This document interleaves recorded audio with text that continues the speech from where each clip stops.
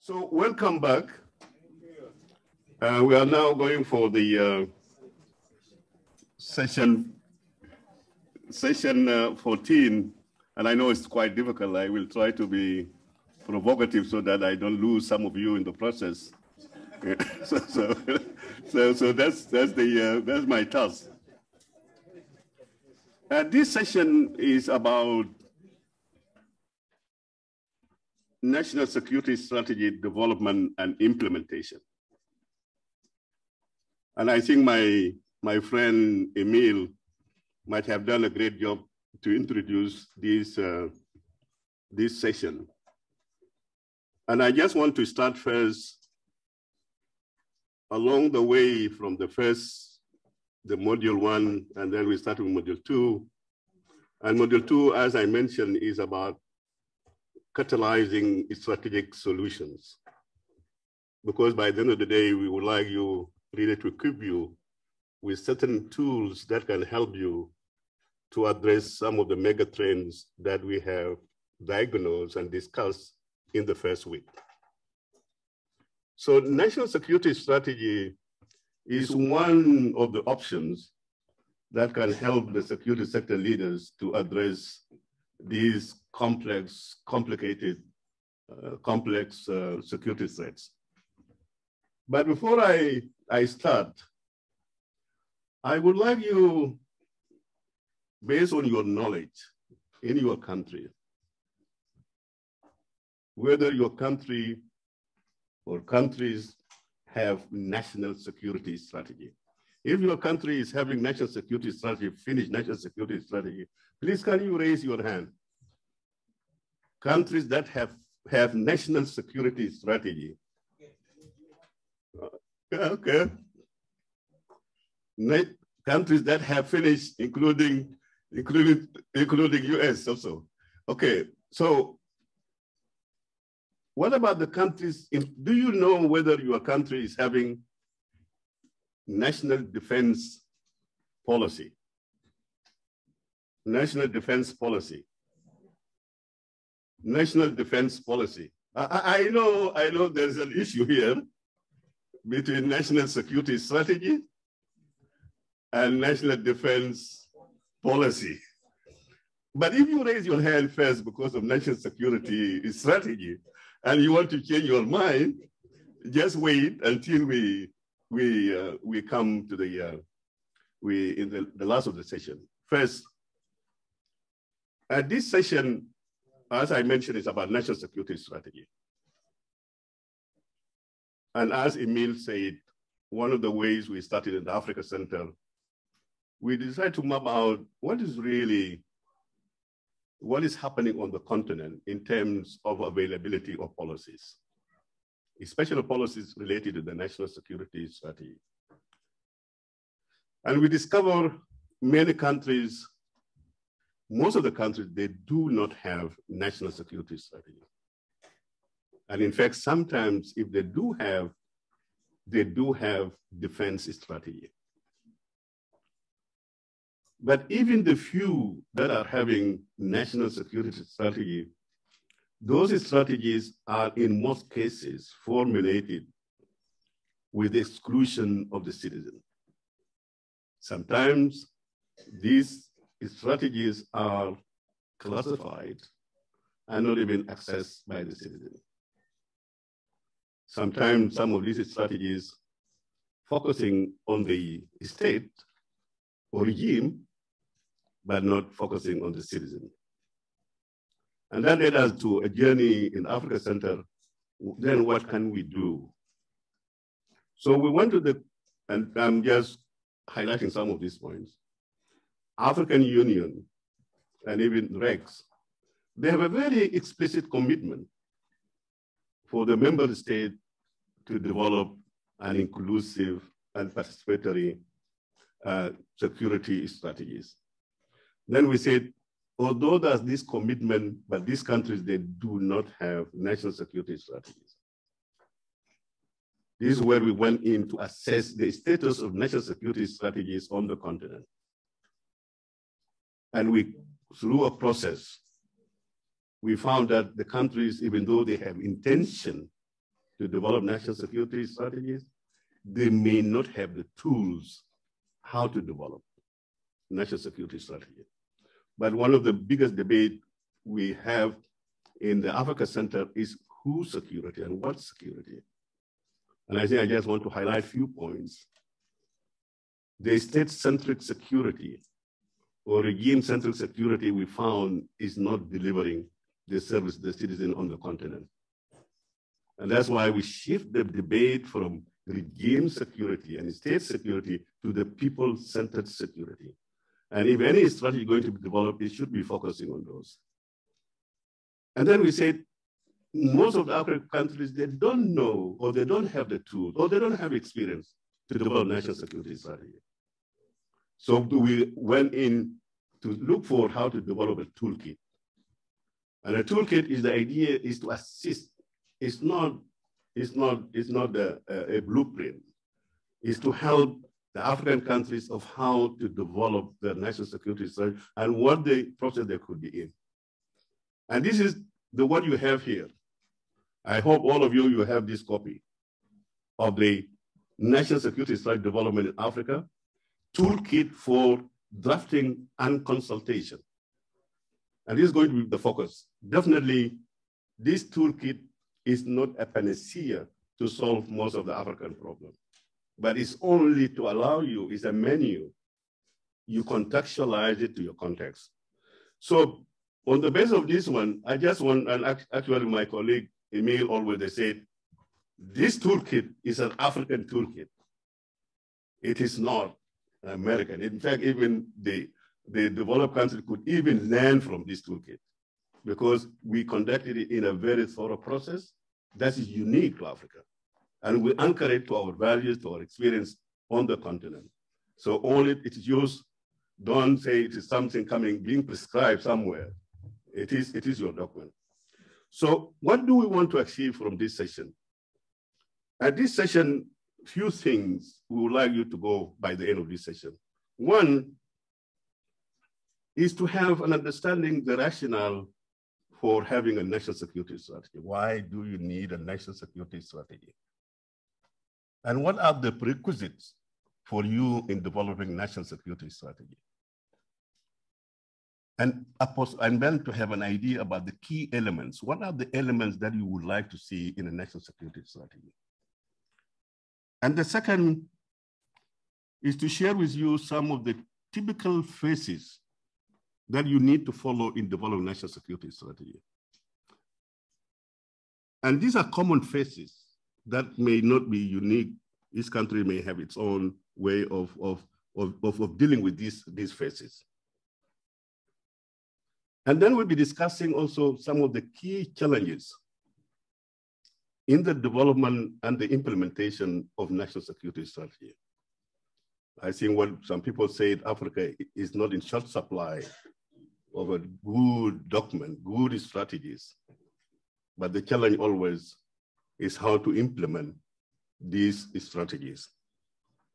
And the last one, the role of leadership in the formulation and the design and the implementation of the national security strategies. We hope these are things we set to ourselves, maybe you will be able to have them, to achieve them by the end of this uh, session. In order to start the debate, we have a well, very seasoned friends with whom I, we engage together. Uh, and I would like to introduce their bio, although you have their bio with you. But yes, I want to to briefly share with you their, their bio. Uh, the first is Dr. Fairlie Chappuis. She's uh, is one of the a very a very a, a seasoned expert. Is the person we consulted when we finished drafting the national security strategy to review the national security strategy toolkit, and she did a remarkable job in, in reviewing it. And that's why we're having her today with us so that to share with us some of the objective that we set. Um, she's an independent expert in conflict and security uh, for over 14 years experience. Uh, she is a rostered uh, uh, expert for the International Security Sector Advisory Team, which is a very international team whereby you can have a pool of experts on the issue to do with security and, and, uh, and policy making. And previously, she worked at the Geneva Center for Security Sector Governance. We call it DCAF, and is one of the leading uh, institutions in the area of the security sector. And, and also she worked with uh, Freie Universität uh, Berlin and also a visiting uh, uh, scholar at the Kofi Annan Institute for Conflict Transformation at the University of Liberia, and also a fellow at the Stimson Center in Washington, DC, and then a swisspeace in, in, in Bern. She holds a master's degree from the Geneva Graduate Institute and a doctorate uh, from the Otto Suhr Institute of Political Science at the Freie Universität Berlin. So she's a really a very seasoned, and I just want to, to share with you, we just came, we went with her and Emil and Joel to the Southern Africa countries, especially in Botswana. This country invited us to conduct a, a workshop on the national security strategy based on the demand. And we went and we spent about uh, five days with the, uh, with the leadership of security sector in, uh, in Botswana. So we are so happy having her. to join us in this. And then the second is uh, Mr. O.C. Dixon. As, again, is a, is a friend, is somebody attended one of our workshops on the national security strategy development. And she came with some group and some friends also from Ghana. And they went back after the after they attending the, the, the workshop. And they went back home and they started informing the leadership about the need to develop the national security strategy. And indeed, as the president talked about it, President of Ghana, very proud that they managed to produce their national security strategy. And, uh, and Dixon played a very big role uh, in, the, uh, in the drafting of the national security strategy. I know some of you here from Ghana will also help us in, in, uh, in, in, uh, in, in, sharing the experience of, of, of Ghana. So Dixon is, is a litigation lawyer and uh, and he is also adjunct lecturer and board member of the Ghana Financial Intelligence Center and national focal point for the International, International Criminal Court. Uh, he is also a member of the Ghana Bar, the International Bar Association, and the World Association for Medical Law, and the International Society for Military Law, and the World Institute for Nuclear Security. But Dixon is coming with a very practical experience. How did they do it in Ghana? And, uh, and, uh, and we are so happy having two of them.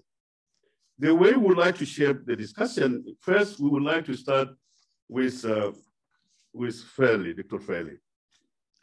And really would like Dr. Fairlie to share with us and based on her experience in reviewing this toolkit, the National Security Strategy Toolkit, to take us through and to share with us the rationale for having a national security strategy development.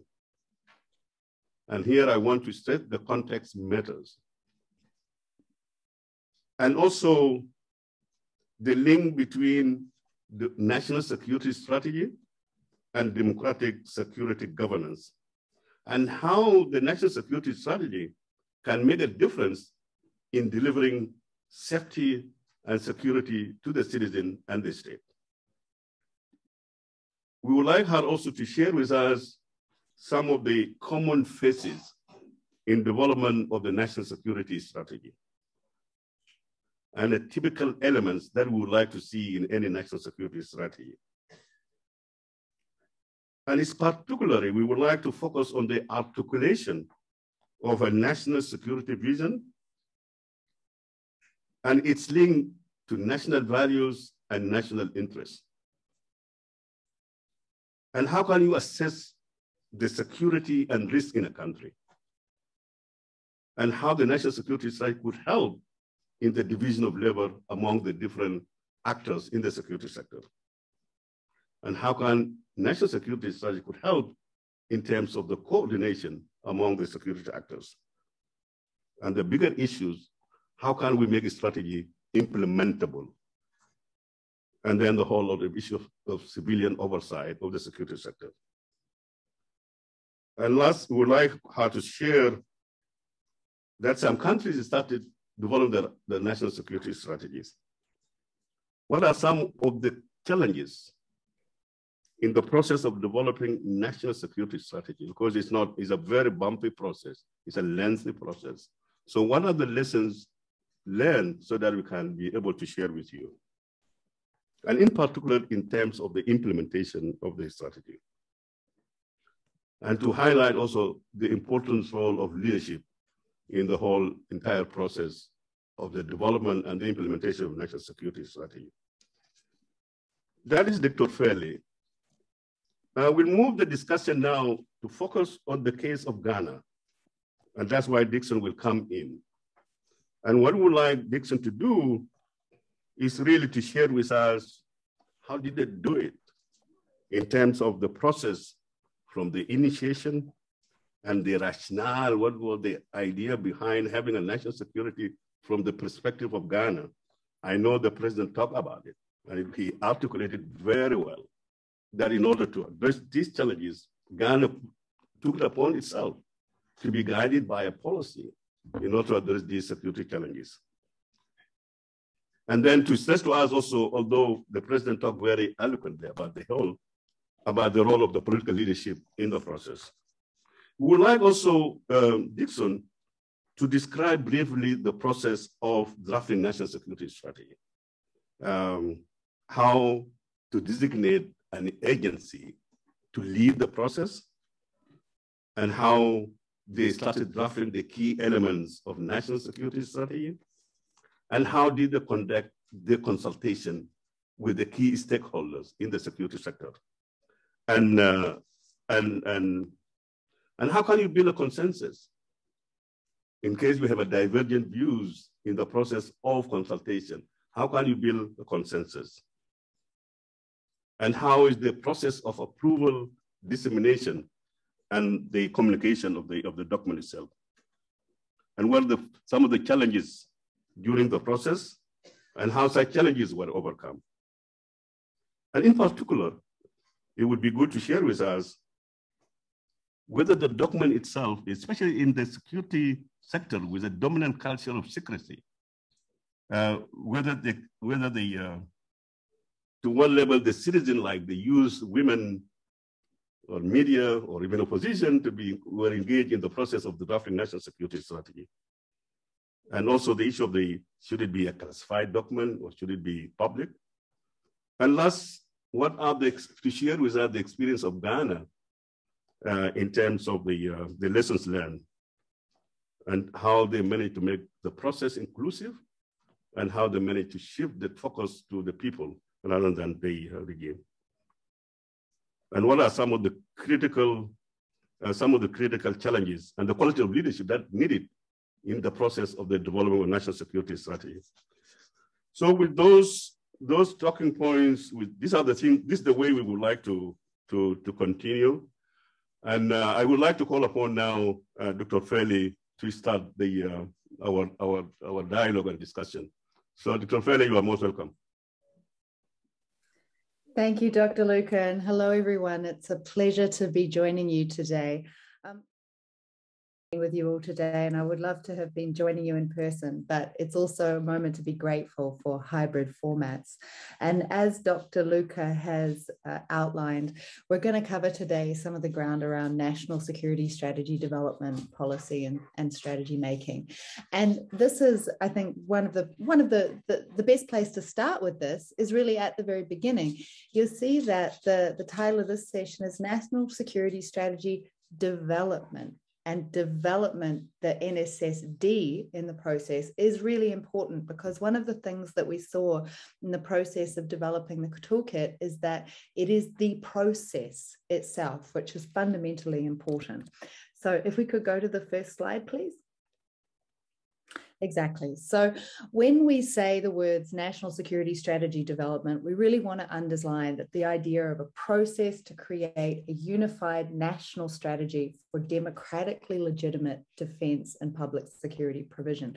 Now, this means that when we talk about NSSD, we're covering both national security policy, but then also national security strategy. And this is also something that is important because you'll hear both of these terms you'll hear that they're often used interchangeably um, or that meanings are quite confused. But really, it's, it's important to keep a simple definition.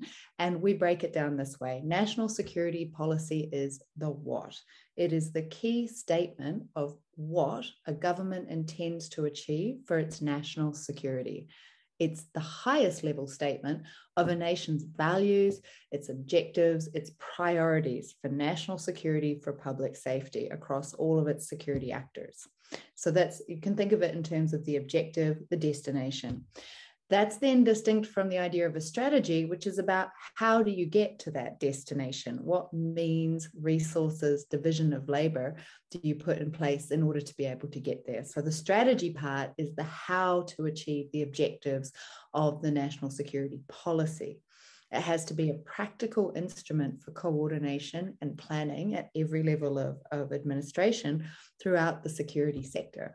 And it's really so, this is why we talk about national security strategy development, because you can't think about the how, you can't think about how you're going to achieve something if you haven't defined your objective.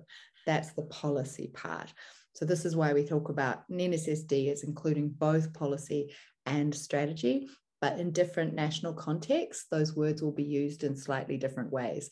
Which is also now, I'm, I will be curious to learn, and maybe we'll learn in the questions, whether you would change your answer to Dr. Luka's opening question about whether your country has a national security policy or a defense reform policy or a strategy in place.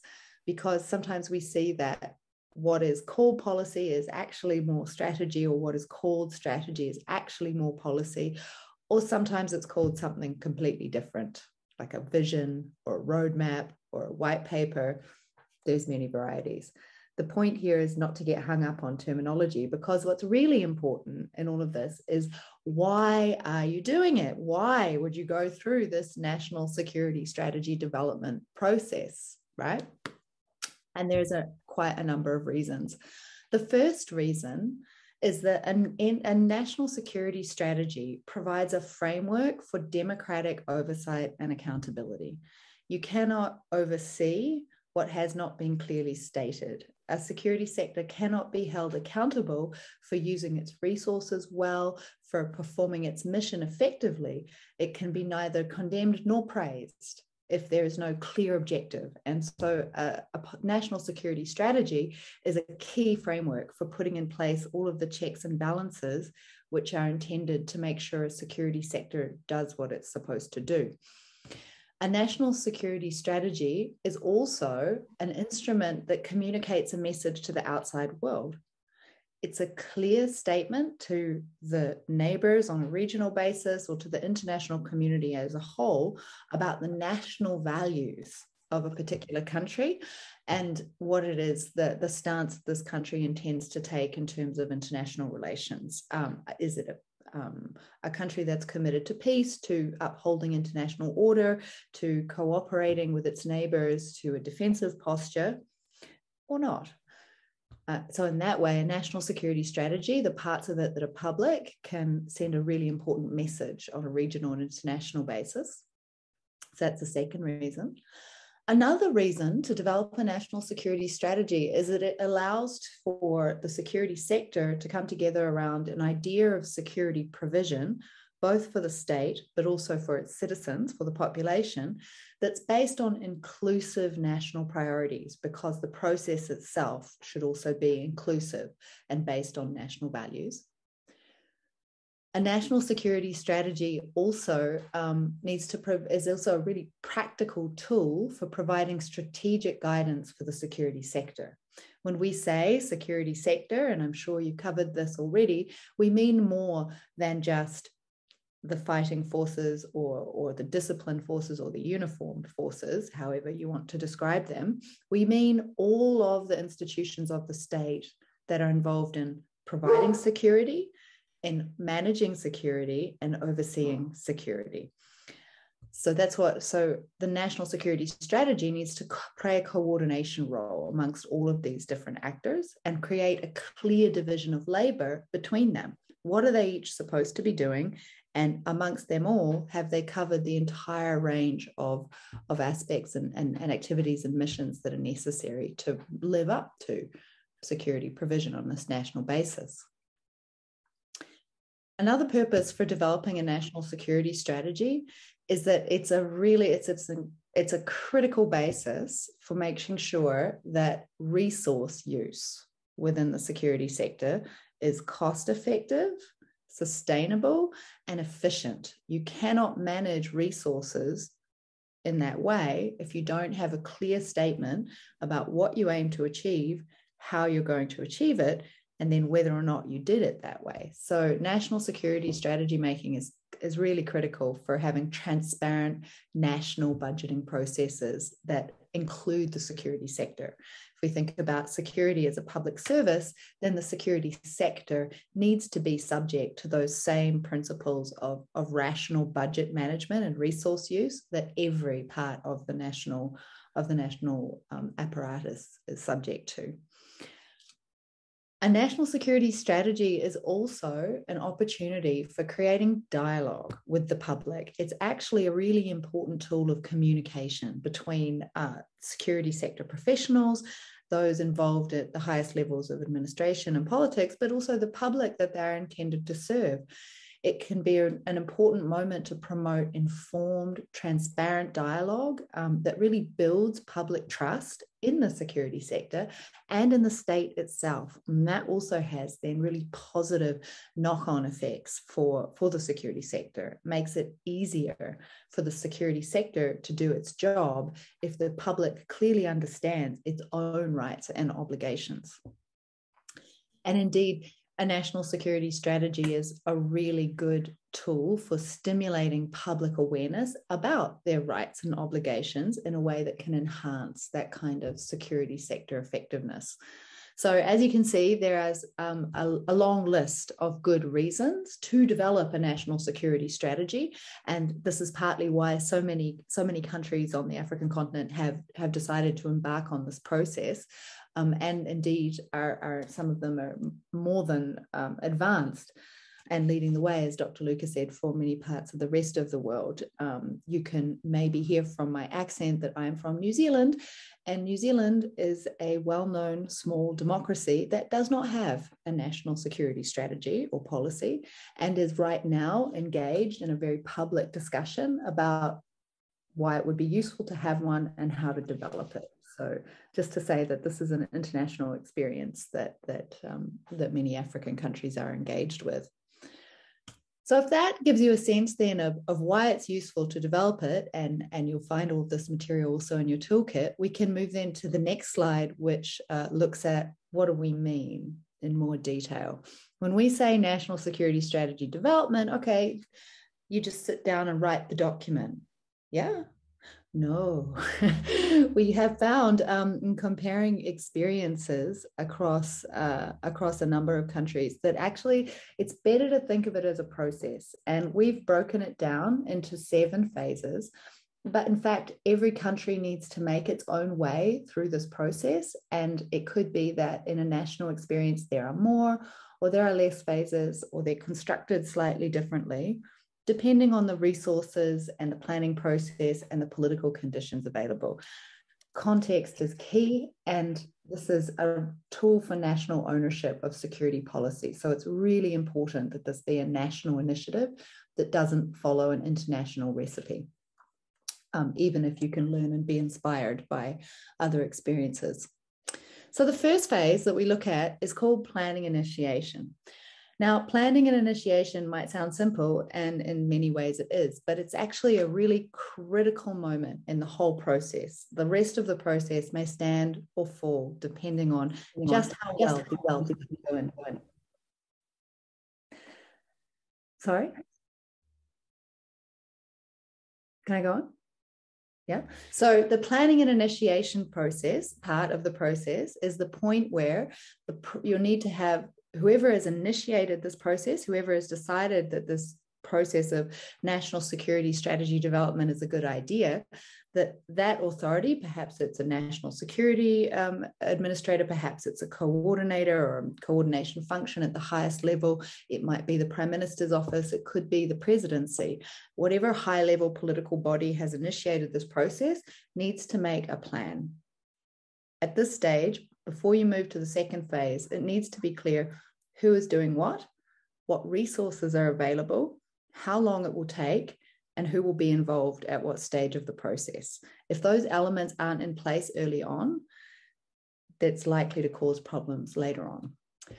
If once that's in place, then you can move to phase two. And this is the part where we call pre drafting. And even at phase two, we are not yet beginning to draft a national security strategy. At this stage, we're preparing to draft. We talk, think about this as the moment to conduct security sector assessments, threat assessments, and stakeholder analysis and mapping. These are three key tools that are very useful at this stage. Think about it in terms of a security sector review or assessment is the moment where you need to look inward and ask what state is the security sector in right now? What is it capable of? What is each force capable of? What are what is the history? What are the needs? What is what is the status quo of the security sector as it currently exists?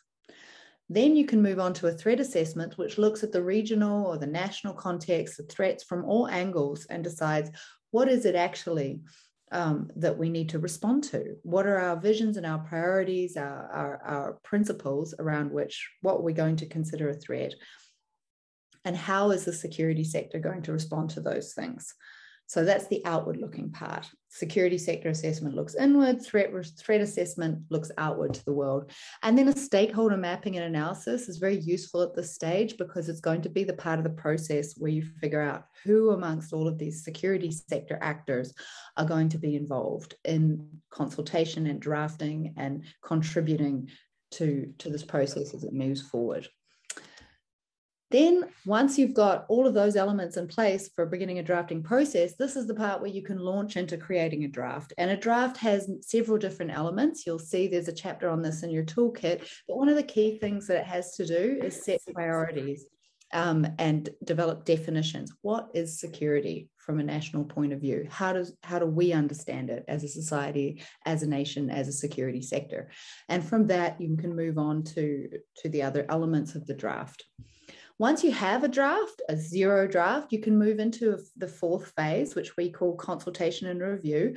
This is the part where all different aspects or actors within the security sector are going to be consulted. Probably they already have been in the first version of the draft. But also, this is a part that involves public consultation that reaches out to the communities that are concerned, the public whose security is at stake in this national security strategy and ask them what their feedback is.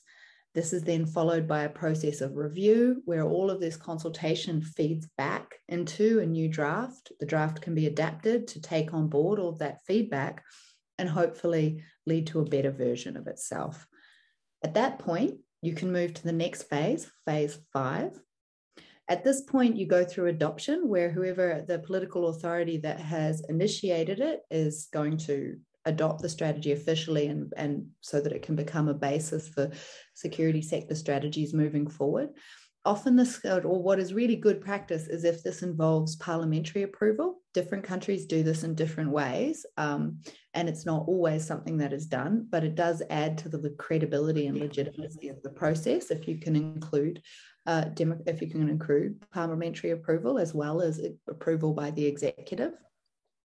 From there, you move then to phase six, which is dissemination and communication. Having a strategy is not enough. One of the key reasons why well made public policy actually doesn't get implemented in at least half of the cases is because it's not disseminated. This might seem surprising, but this is the way that the, the what, what research has shown. Um, dissemination needs to reach out in two different ways. It needs to reach out to all of the actors within the security sector who now have to change the way that they do their jobs on a regular basis to align with the objectives and the strategy for resource use that the NSS has created. And it also needs to reach out to the public this is the part where you can enhance views of the security sector. You can engage in public dialogue. You can improve um, trust between the security sector and the state, and you can inform the public of rights and obligations by creating and enhancing public dialogue and communication around national security strategy.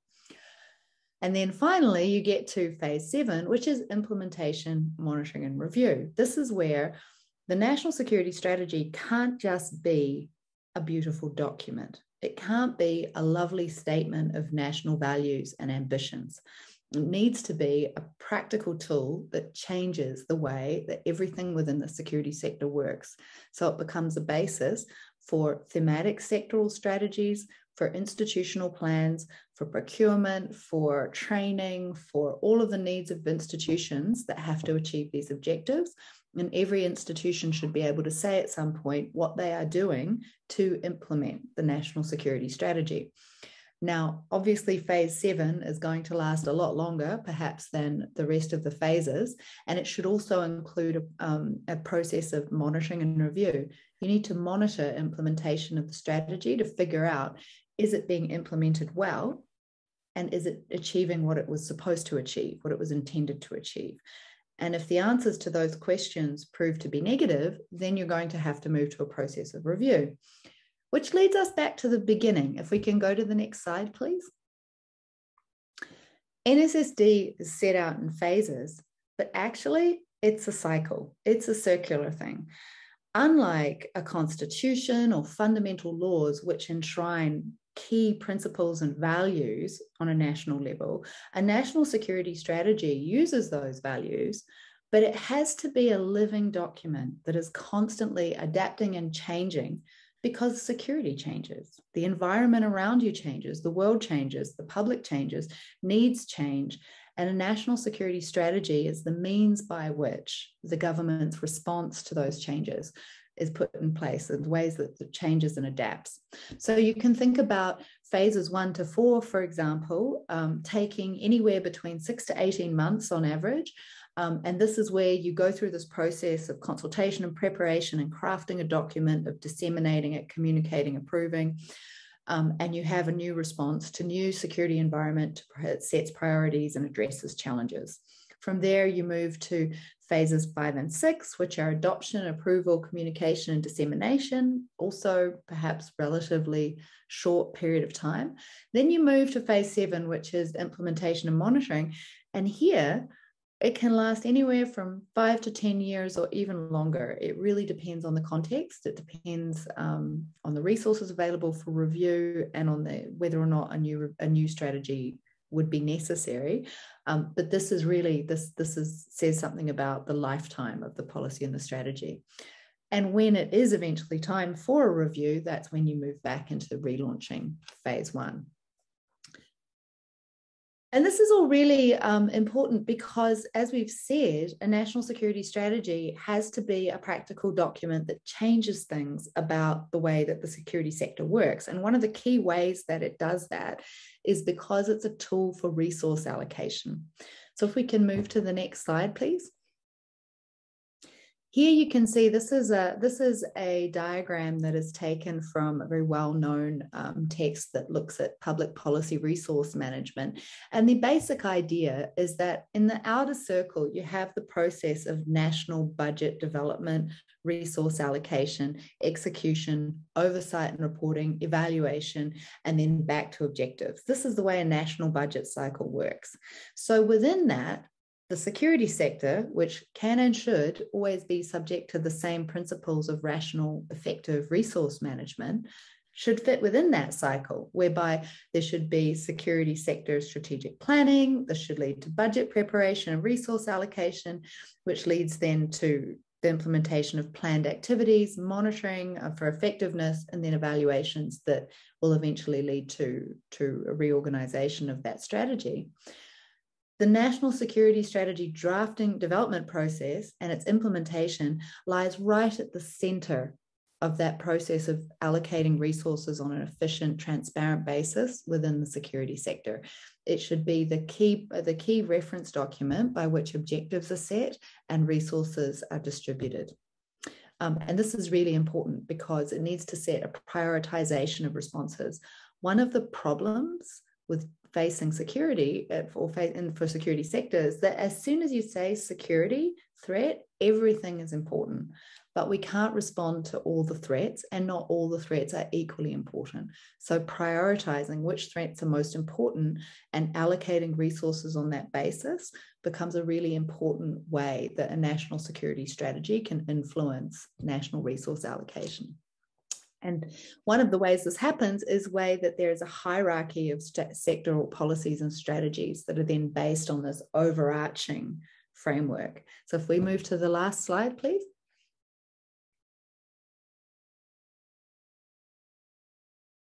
Here you can see um, in, with many moving boxes, you can think about um, the policy making context in any national context. You have an overarching national framework for policy coordination. This will be things like your national development plan. If perhaps in a fragile context, there's a plan for national reconciliation, it involves all parts of government and society. The national security strategy sits as just one component within that overarching national vision, but it is focused directly on national security policy and strategy. It sets the priorities, as we've just said, and creates this division of labor. Who within the security sector should be doing what to implement the strategy? That division of labor then gets translated into sectoral policies and strategies based on the national security strategy. Now, you can see the boxes that are in dark blue are really the classical sort of actors or sectors you'd think about when you think of security. You're going to think about national defense, defense policies, you're going to think about internal security, you're going to think about justice. Okay, and that's great. And then those policies and strategies need to bring together how those actors will interact. But security is broader than that, as I'm sure you've covered. And that means that there are other aspects of government service provision which also need to be involved. So the national security strategy is going to be is going to touch on elements of foreign affairs. It's going to touch on elements of health and education. I think it should be clearer to us than ever before how pandemics and public health emergencies have security implications.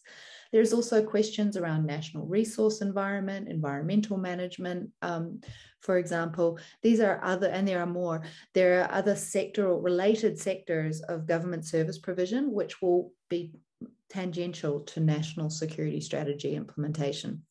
And then finally, this needs to filter down to the institutional level.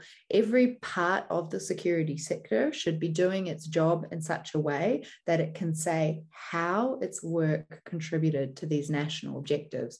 So you have the armed forces and all of its branches, you have border guards, um, you have civil defense forces, all of the intelligence community or, or a single agency, depending on how it's configured. You have wildlife protection forces, for example, police, justice, and prisons or corrections, each of these actors should know what their role is and how they're contributing. Now, this all sounds um, perhaps, uh, well, put it this way it's a complicated process, but it's a process that uh, many countries have completed, if each in their own way. But as Dr. Luka mentioned, there are some very specific challenges associated with this. Probably the key challenge is to ensure that there is top level political buy in um, to push the process forward at each stage. Wherever there are disagreements about some of the fundamental definitions, wherever the process becomes politicized, wherever resources need to be mobilized or things just need to be pushed along, it seems to be a pretty general experience that um, top level political buy in is critical for pushing the process forward. And some of the process, some of the, the impasses that you're going to face perhaps in this process, one of them, a key one, is poor planning. Think back to phase one, planning initiation, there needs to be a clear process set out from the beginning. It needs to be clear who is leading it and um, how it will be moved forward and who will be involved and what their roles will be from the very beginning. And what we have seen in um, several experiences is that where this is not the case, then the process can get stalled at some particular point, whether it's consultation or development of a draft or disagreement about definitions. And without a clear process in place, including deadlines and allocation of resources, it can, it can get there. there. A next challenge or, or related to this is insufficient resource allocation. You need to think right at the beginning about how much money it's going to cost for the process to move forward and what people resources you will need, what human expertise will be necessary. Now, one of the things that, about NSSD, as you've noted, is it can become as big and as expensive and as long term as you would wish. And usually, um, resources are limited and the process needs to be truncated to fit within the practical um, budget realities or resource realities of each context. So, making sure that in the beginning you design a pragmatic process that can lead to a useful document within a useful time frame is really critical. Um, and sometimes that will require then high level decisions about what is going to be in and out and who will be involved or not. Another problem that often comes up and this may seem a little philosophical, is a failure to get clear at the very beginning on the fundamental principles and core definitions. What is the overarching vision for security on a national basis? What are the values that are important? Whose security is at stake? And, and by what measure, by what principles should this be, should this be um, advanced or embodied? And that, that sounds perhaps like um, abstract philosophical talk, but it's actually really important for when you move on to some of the more um, practical aspects like threat assessments, like um, defining missions, division of labor, you won't be able to do any of those things. You won't be able to set clear priorities if you don't have clarity among key stakeholders about what security means and what the core values guiding and orientating the process are. So those those somewhat soft features of national security policy are really important to develop. Another issue that, that can also link to this and then hold the process up is insufficient consultation and inclusion. There is a tendency, especially in security sectors, especially in those with um, perhaps very new democratic trend, um, traditions, that you're facing a culture of secrecy and you're really trying to break down the idea that security is something that only um, men in uniform or security professionals or high level politicians should talk about it's related to secrecy. It, it's there may be legacies of fear avail- uh, associated with it and what that means is there may be a reticence or a reluctance for the public to comment. They may feel like it's not their place, for example, to comment on such things or that they're not qualified. And that can lead then to a product that is overly technical, overly narrow, and not really practically useful in terms of that list that we had at the very beginning of what makes a national security strategy a useful document for democratic security sector governance all of these challenges um, have their particularities and they're linked to different contexts. But the key aspect in this, in being able to move forward when the process gets blocked over these issues, is dialogue and high level political buy in. The process itself is just as important, more important even, than the written document that's going to result from all of this. So, uh, with that, I think, Dr. Luke, I hope I've covered all your points. I will hand you back. Thank you very much. And uh, you have really highlighted most of the, uh, the points. One thing I just want to, to highlight the issue of national ownership. Uh, we, we observe on the continent that sometimes some you relinquish your sovereignty and you ask some institutions to come and draft for you. In some countries, they adopted these cut and paste and in order to develop your national security strategy rather than so national ownership is extremely very important and uh, you must be in the driving seat And that's a very important point, just I want to, to highlight. And uh, most of this, these things are in the toolkit, and especially you will get them. So copy and, and paste, and it's not, it's not, it cannot work, you know. There are many, there are many institutions will come to you and then they would like to draft it for you. They said, you know, we can draft this national security strategy. You have to use it, and experts coming, they draft it for you. This is a national security strategy. And those strategies cannot work if you are not in the driving seat. National ownership is key. Um, Dixon, please, within uh, 15 minutes, if you can just give us the experience of Ghana in developing its national security strategy. 15 minutes, please.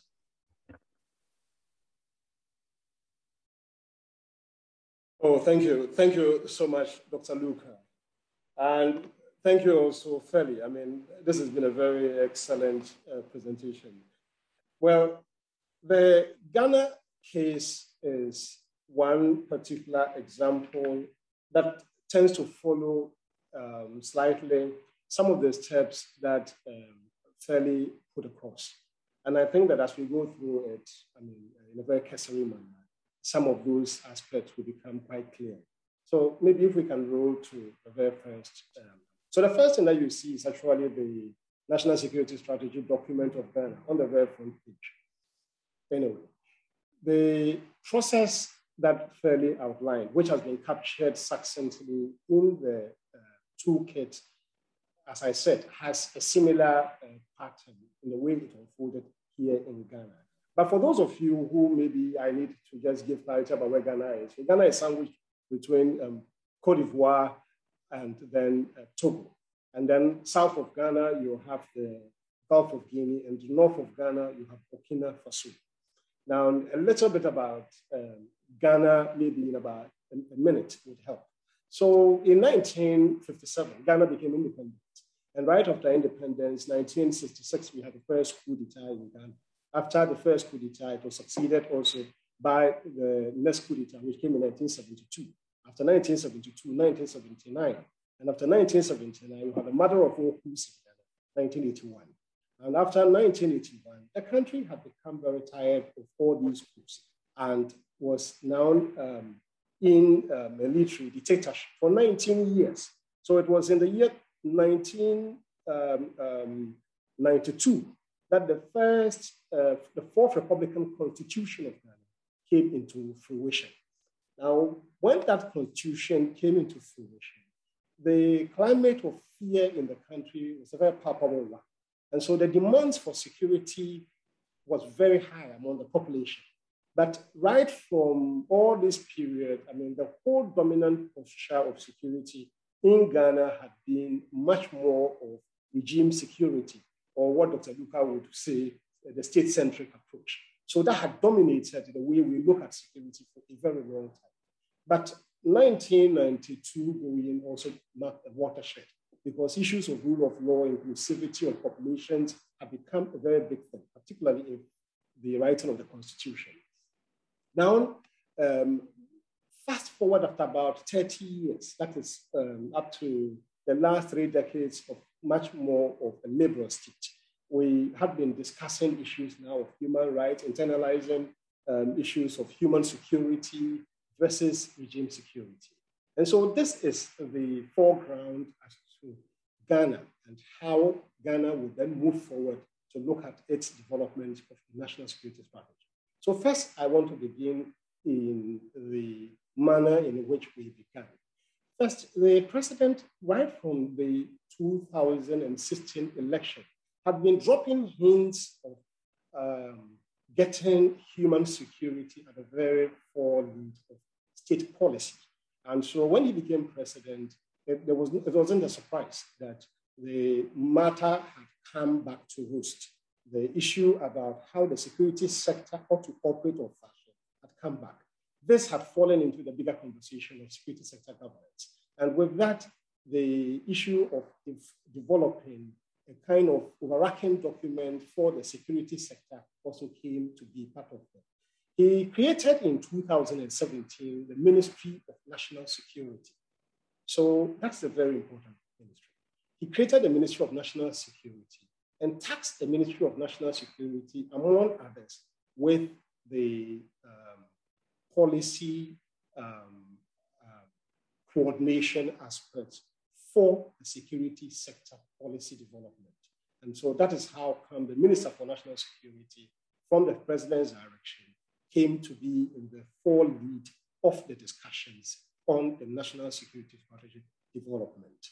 And with that set up, the minister then also started bringing together um, a range of actors, particularly the various other ministries, and asking for um, a technical working group to be uh, commenced.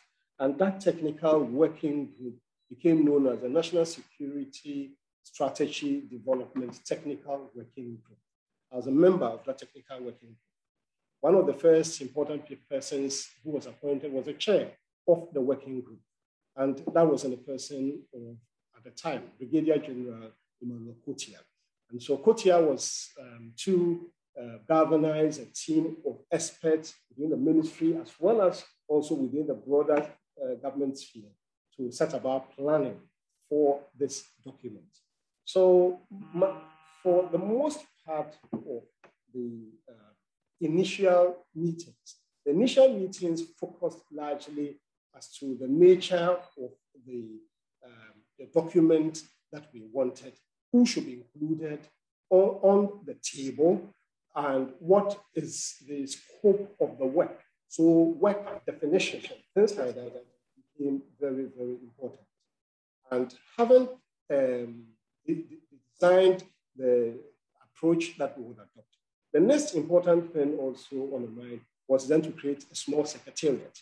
A small secretariat that will actually be in the forelead of drafting the strategy.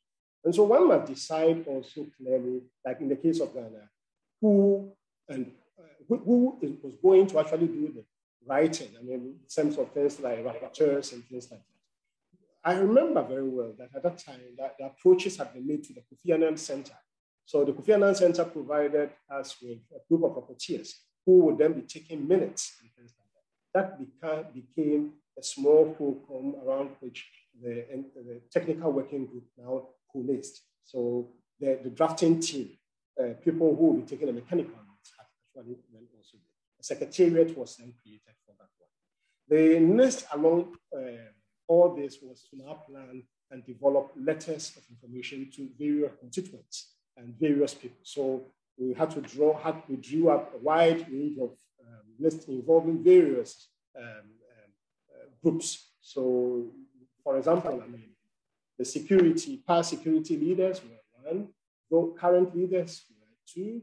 You had to bring in uh, representatives from CSOs, representation from various parts of youth groups, religious groups, and to the and we held one of our very first meetings at um, Akosombo, and the very first meeting was a very interesting one because it was the very first time in our, our history that we had been we had met to discuss a national security strategy you know, formulation with um, members of government, opposition, uh, CSOs, and so on and so forth.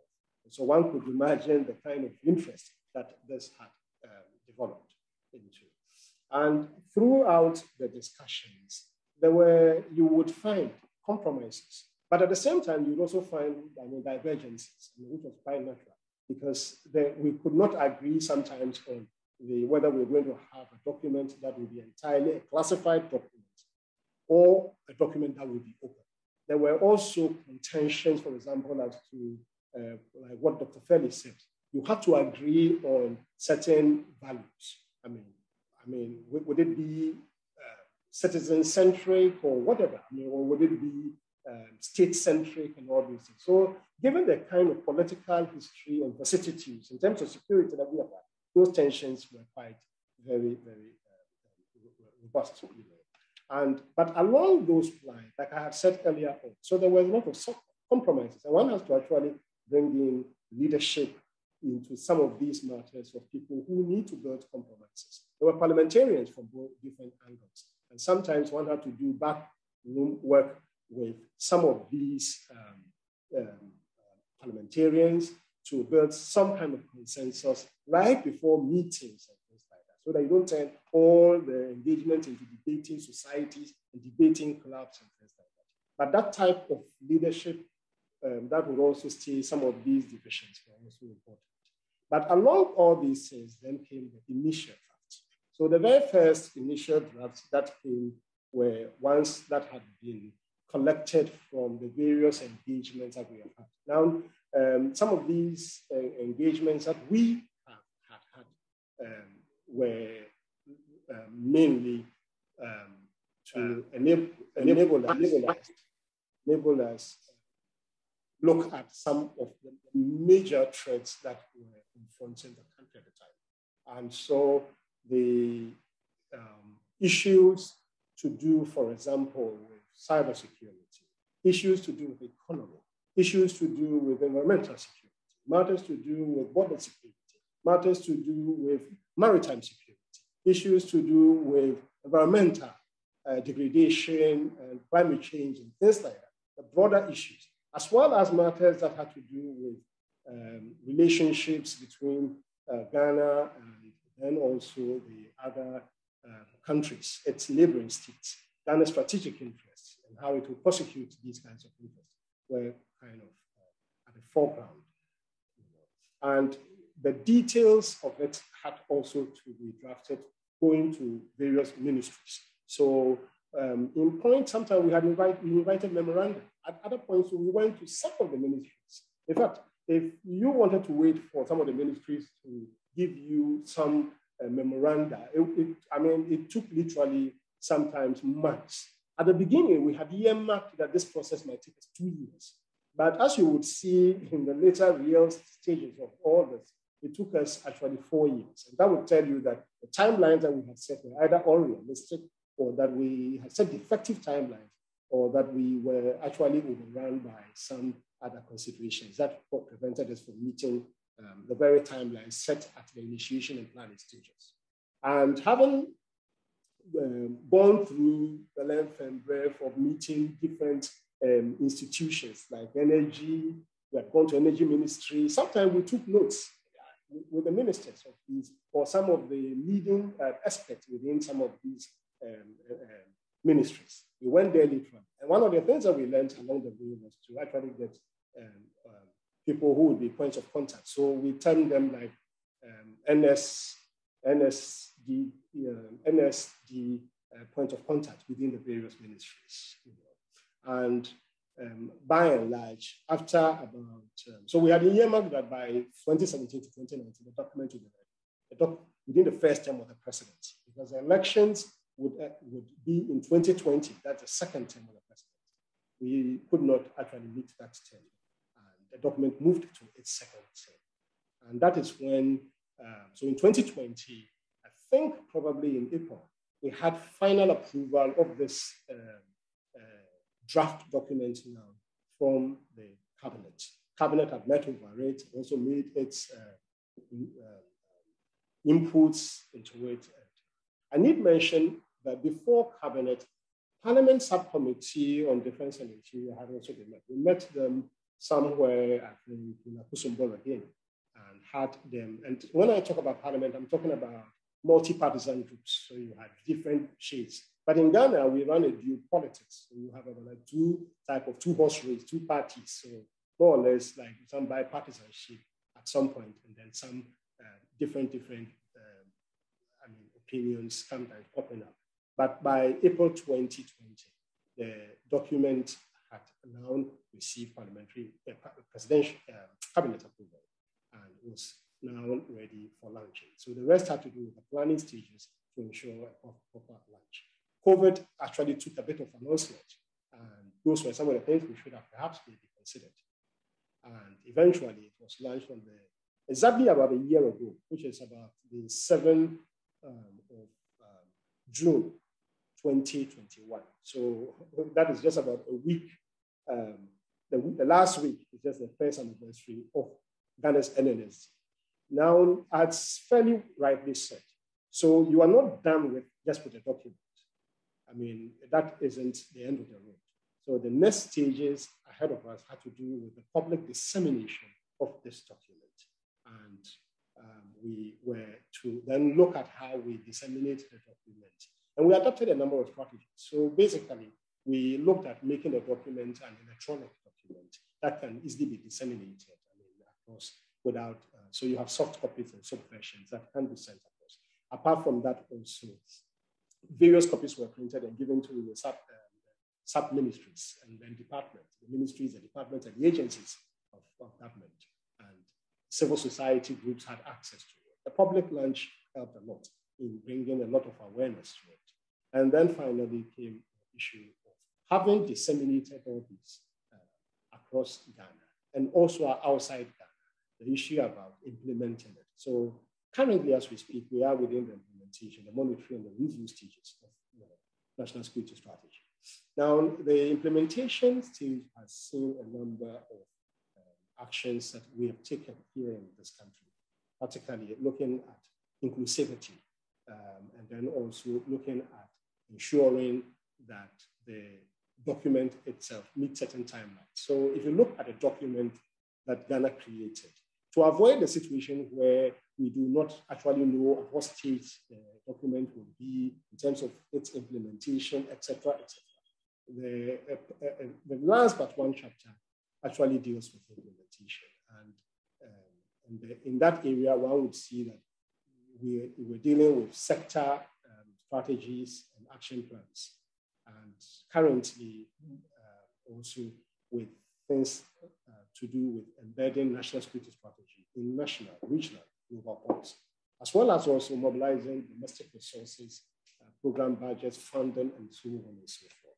And then also in the bigger issue of aligning Ghanaian national interest around this important document. Now, also within this period, the Ministry of National Security particularly has a, a, mandate to ensure strategic communication of this document. And that it does through various forums. I mean, the forum that we've chosen to discuss this matter is one such important one because it builds also consensus and regional synergies with our neighbors, also with our partners, and things like that. Clarifies our goals and our interests. You know. But one of the important things, and that is maybe a difference that you might find in Ghanaian national strategy. But whilst looking at this, one might want to look at other national strategies that other countries have. The United States, for example, Great Britain, they all do have national strategies. I mean, these are available. And one would see that in Ghana's own, there is a tax matrix uh, for all elements of the governmental machinery. It is clearly stated there what every unit or every uh, department, MMDA, then that is the ministry or department or agency identified will do. There's also the coordinating mechanism, uh, which Fairlie talked about, which has been embedded there, clarified, and shaped clearly so there are National Security Strategy Implementation Committee, which involves certain important actors from various ministries. There is also the NSS uh, Crisis Response Team, which is also part of the implementation and monitoring uh, instrument. The NSS budgeting and funding is also something which has been created to enable implementation to So there is a dedicated funding for national security strategy in Ghana, and which is called the Security Fund. You might also realize that in terms of monitoring the implementation of the NSS, there is also parliamentary, clear parliamentary oversight of the strategy. So it is not left to the, um, the uh, Ministry of National Security or alone or the executive branch to have some executive oversight. There's parliamentary oversight that has been embedded into the process. And that also uh, is important to reflect because around every um, now parliament is supposed to receive this document. In ghana it's actually become law now that um, we make the national security strategy available within the first term of the new parliament being constituted. There is also the strategic review that takes place of the strategy. So the strategy is not a secret cow the strategy, there's a, the underlying assumption is that every four years, that strategy might not be actually appropriate that we might have to look at it and review how we work with it. And we move to the next slide. Okay, so there are a few lessons that we have learned across. One, that leadership is very important in this particular matter, and that people's skills is useful because of the likelihood of conflict as well as divergences, and so and also the need for congruity as well as also some general synergies. So uh, the person who led our process, I think General Kutia, he really had it. That really helped them. We, one needs to also bulletproof the process. And by that, I simply mean that it's important that one is able to foresee some of the uh, potential problems that one might face. For example, in Ghana's case, the issue about resources was an issue. So right from the one, mutual finance was actually deeply involved in it. And then also the matrices that had to be developed um, uh, for implementation had been embedded in the strategy itself. It was a controversial decision, I mean, whether to embed matrices actually in the strategy or not to do so. And that was something that we put in. But for our purpose and looking at the country's history, it's something that has really served us well. Public education can increase awareness and also increase public buy-in. And it's also very important that one realizes the usefulness of the secretariat. So an NSD secretariat with drafters, reviewers, clear resources to assist is something that can help to ensure some um, efficiency and then fluidity of the processes. Then also the uh, one good lesson that we learned was that in the past, most of such security strategies have been hidden they had been hidden from the public and hidden from many ministries, departments, and agencies of the state itself. And that had not been a very helpful one. But distributing these copies and making them publicly available would help. But that meant that Ghana had decided that the strategy itself was going to be not a classified document. The tactics about how we actually went about to achieve the object of the strategy were going to be the classified ones. And we also had some good lessons achievements with the NMSD POCs, that's a point of contact within the various ministries, departments, and agencies, which we realized could help to minimize the bureaucracy and bureaucratic red tape. Uh, we also realized that the media can be useful in this type of engagement, and that it's important to see the media as the PR tools rather than to see them otherwise And that when we held uh, workshops to educate the media about the rationale and the importance of it, it actually helped to accentuate the benefits and to build a sense of purpose for the country. We didn't also, uh, we also felt that the one lesson that we had actually gleaned out of the entire process had been the post-launch workshops, seminars that had helped to create a functional awareness and a deep sense of understanding about the workshop these things were a work in progress. However, it was something that had to be done, like as in the nature of the strategic uh, communication issues that I've talked about previously. Okay, so um, can, can, we, can we go ahead? So with, with, with, that, we come to the end of the Ghanaian experience, but um, I, I would want to make just two points. That, so way back in 2017, I sat in such a class or such an environment like.